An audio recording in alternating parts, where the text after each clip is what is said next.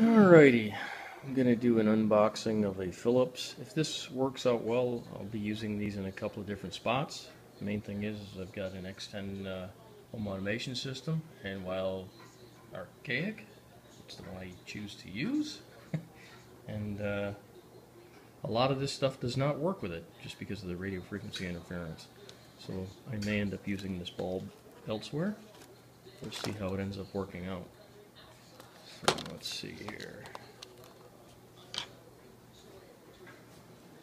Any of you guys hold the camera? Didn't think so. Let's see if I can get this to work out.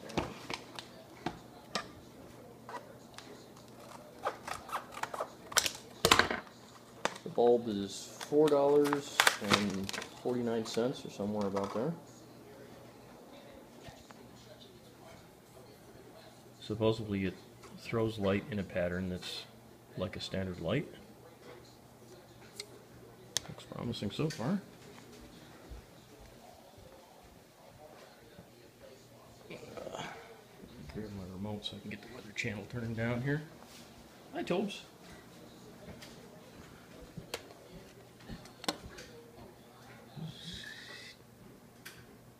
There we go. Now We don't have to listen to the weather channel.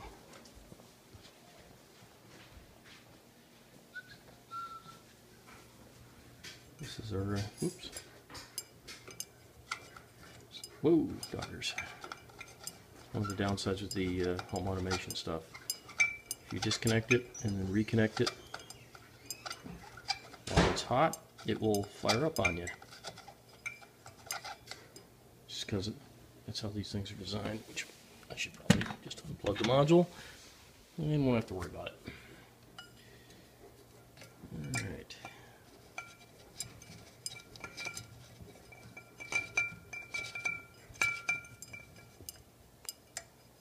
Hold this with the other hand for a second. Sorry about that. Okay, it's in. Plug unit back in and wow, holy cow.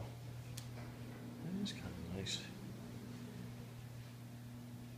Um, can't see it on camera, but I can see there's like a slight donut effect, so you can kind of see from the side, but you can't really see from the front here.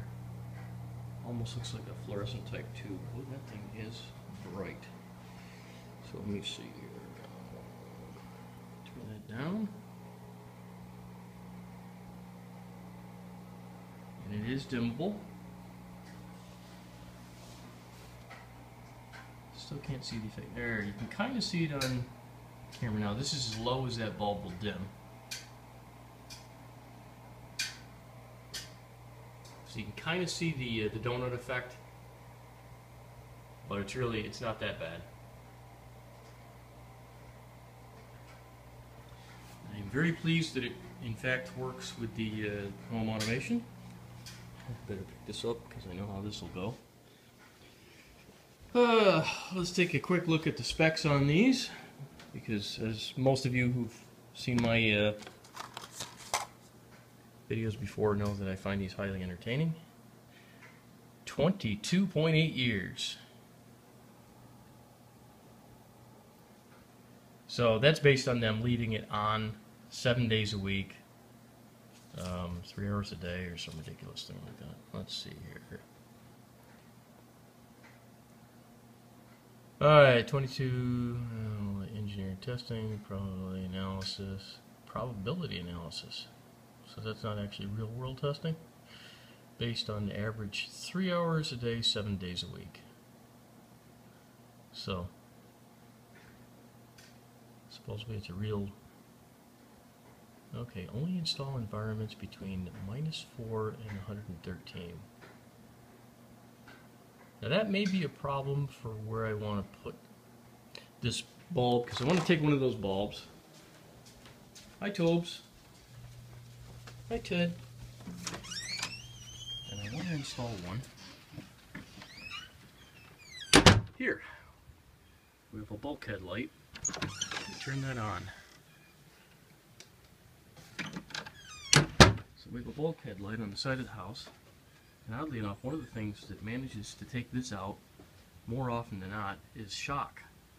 Because when you close the door, it rattles the filament. And each time it rattles the filament, it takes a little bit of life away. So we go through light bulbs out here about every four months, maybe sometimes less. Hey, it's 40 degrees. I'm going inside.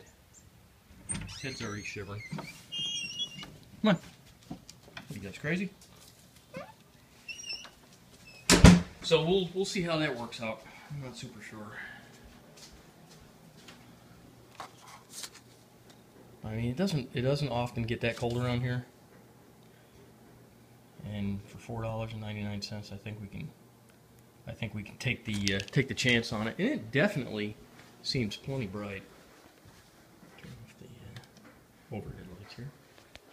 Yeah, that's just as bright as the other bulb was, if not more. Let's see what the other bulb was.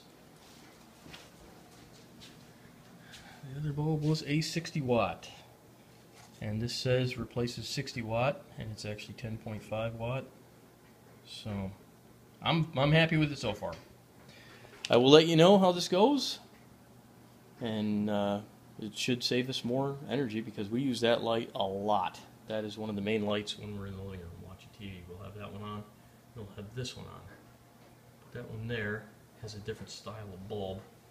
So I'm not sure we can actually do anything about that one.